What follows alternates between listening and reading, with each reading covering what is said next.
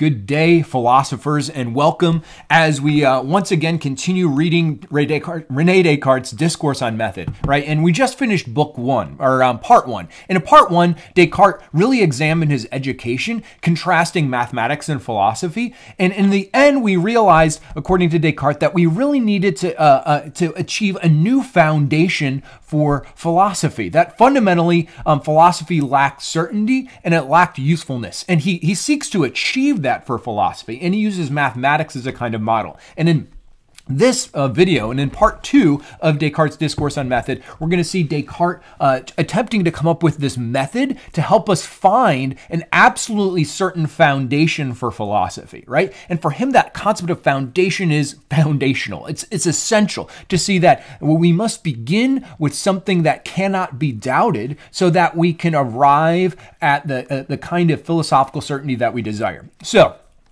recall that he said that we're no longer going to read books like this book or read Aristotle's Nicomachean Ethics or any of that stuff. Instead, we're going to turn to turn within ourselves and read the great book of the world, right? And in particular, this is true as Descartes tries to achieve certainty in philosophy, right? And so um, let's begin just reading parts of part two, and we're going to see that uh, when he talks about turning in toward himself, he quite uh, the way he depicts his autobiography here is it's almost quite literal, right? He describes here, he says, "I was in Germany, where the occasion the wars were not yet over there. And, and he continues um, eventually talking about how he shut himself off by himself in a stove heated room right? Where he conversed with myself about my thoughts right? So descartes is is sitting there alone sitting in a room. He almost is this image of what a lot of us think of when we think of uh, people being uh, philosophers, right? Um, not the image of Socrates walking around chatting people in conversation, uh, Aristotle engaging people in conversation, um, that, that idea that contemplation is a lived experience in a community, but we have this sort of contemplative person who, who sits alone thinking really hard. And Descartes is literally painting that picture for us. So, what does he begin thinking about here in part two of the discourse, right? Well, he begins with the thought of perfection, right? The idea of perfection. And he says, among them,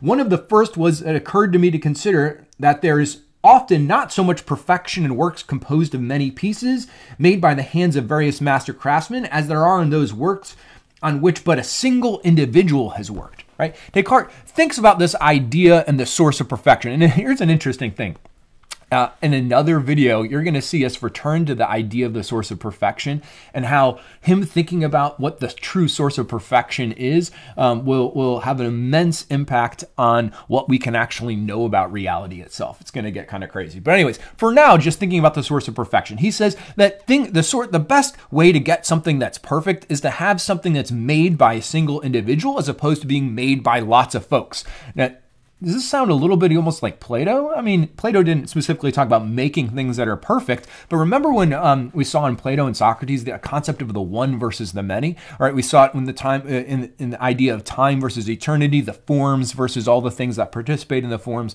Anyway, there's there even though Descartes sits there and he rejects things in the history of philosophy. There's many aspects of this history of philosophy that are still sort of alive in his thought i would argue right? But um, let's go back to his idea. What, what, where do you get more perfect things that are made right? So do you want to have like a lot of carpenters working on a table or just one carpenter right? Um, i play guitar. I like thinking about guitars and things like that. And for instance um, the, the, the company fender has many different lines of guitars. They, they have the the uh, the american standard line which is a pretty nice expensive expensive guitar, and a good American standard guitar could cost you like 600 to a thousand, maybe 1200 bucks or so. But you can also get custom built Fender guitars, right? Um, and they're, and they're nice. They're, they're going to double in value uh, or double in, I don't know if they really double in value, but they double in cost. And then they have this master built line, right? And the master built guitars are these guitars that are supposed to be built by, by a single master craftsman, right? And, and if you look up the, the Fender's uh, website,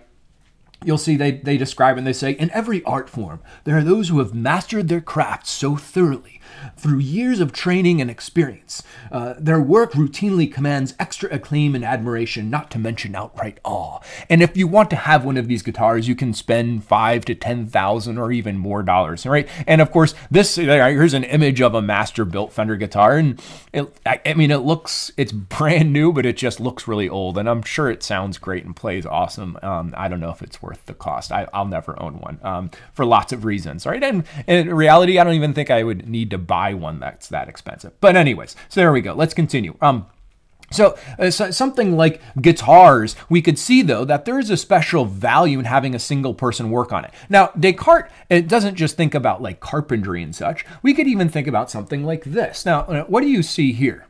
This do you recognize this? This is Manhattan, right? In the in the in the city of Manhattan, if you just look at this map, this is essentially like a map, and you can see in the, all the white lines, little street, um, uh, our streets and, and things like that. You one thing that's interesting about Manhattan, when you look at it, um, you see this like really distinct grid pattern for the most part, right? You have all the um the streets, and then you have um all the avenues um so the streets all uh, are horizontal, the avenues are all vertical. Um, you occasionally have um, uh, then like Broadway, you see kind of cutting cutting through this. But but uh, why does Manhattan look like this, right? Um, well, and, it, and does all of Manhattan look at like this? If you take a look at the bottom of Manhattan, you see at the bottom of the map there. Um, I can let me zoom in on that. You'll see here at the bottom of Manhattan, it doesn't does doesn't have the same grid pattern.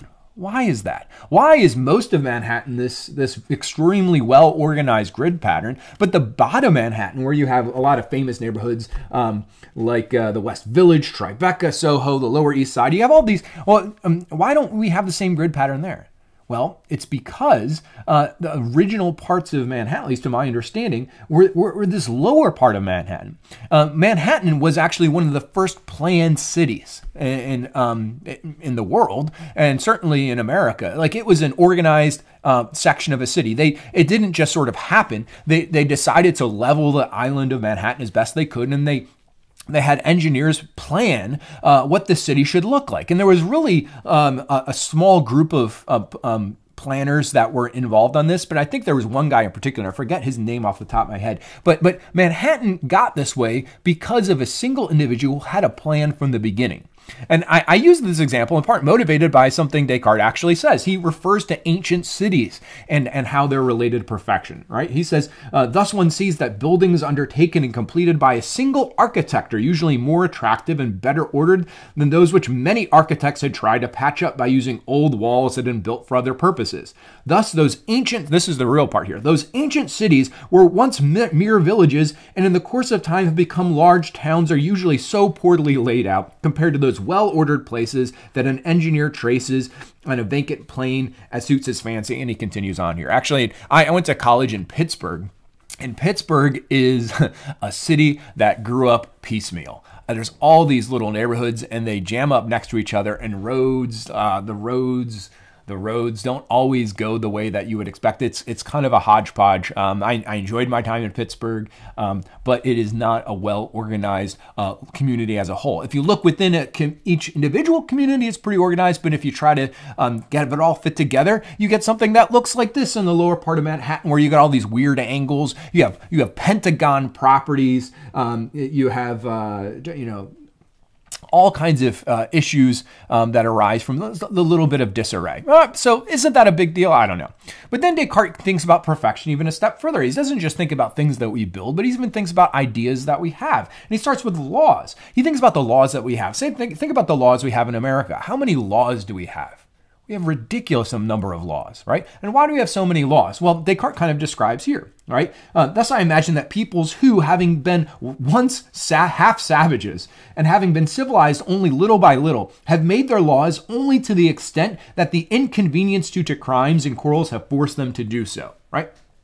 When you think about it, that's where most of our laws come from. We don't we didn't start with a, a, a beautiful set of laws that we just sort of live with throughout our lives. Um, no, uh, the laws that we we create tend to come out of need. We we have issues that we're trying to deal with, and then in response, we we write a law that um, that forbids certain kinds of activities, right? And so everything is sort of this reactionary thing, right? Most of our laws are completely reactionary. So laws come together in this piecemeal way. And Descartes said, wouldn't it be better if there was like a beautiful set of laws that were pre-established and that we could live accord and not just have them come up um, uh, chance, you know, by chance essentially. And then Descartes goes even a little bit further, not just laws, but then to all of our learning. He said he thinks about book learning, and he thinks about how many books that are there that that so long as they're not demonstrations. And by, by demonstrations, he basically means mathematical proofs. And if you want to know about mathematical proofs, you can go back and watch the video that that that was all on looking how math is a model for the foundation of certainty in um, in philosophy for Descartes.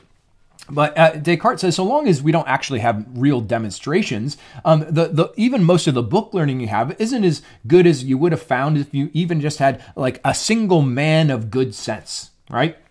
And then he even thinks about all of our all of our personal beliefs, and he says, where do all of my beliefs come from? Where do my thoughts about reality, about what's good, what's bad, about um, what's true and what's false? Um, where do these ideas come from? And he says that we actually have many teachers, right? Um, he says, uh, for uh, since we were children, like, and, and I'll read here, and thus too I thought that because we were all children before being men, and because for a long time it was necessary for us to be governed by our appetites and, and our teachers, right? Um, it's nearly impossible for our judgments to be as pure and as solid as they would have been if we had the full use of our reason from the moment of our birth and if we've always been guided by it alone. Let's take a step back and let's think we had to be raised by all kinds of teachers, right? Our appetites or our desires influenced the way that we acted and the things that we did. But, but we had all kinds of teachers, not, not just our, our teachers in school, but our parents are our fundamental first teachers. But our siblings, if you had them, they were your teachers. Your neighbors, they taught you things. The books that you read, the stories that you hear, the songs that you listen to, the movies that you watch, all of them are teaching you about reality. For instance, um, uh, I meant actually that's right. I was going to put a little slide in uh, in here about this. But uh, when I was when my kids were very young, they they watched Thomas the Tank Engine. I don't know if you're familiar or you remember Thomas the Tank Engine. Um, but uh, Thomas the Tank Engine taught some very interesting lessons. Amongst them, Thomas taught that a good engine is a useful engine. A good engine is a useful engine.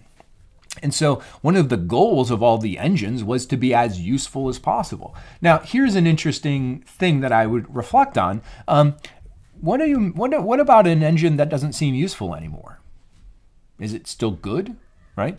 And, and if we if we take that principle out, what if we think about humans? What if there's humans that don't seem particularly useful? Are they not good and, and they should be discarded? The, the the engines that weren't useful were supposed to be thrown away in Thomas the Tank Engine. What about people that don't seem useful? What about the very old? Are very old people who maybe don't have a use in society anymore? Are they not of value? What about even the very young children? Children maybe have a great potential for use, but are not immediately useful right now. Um, what about people that just seem to be problem people that don't seem to be using things the right way, right?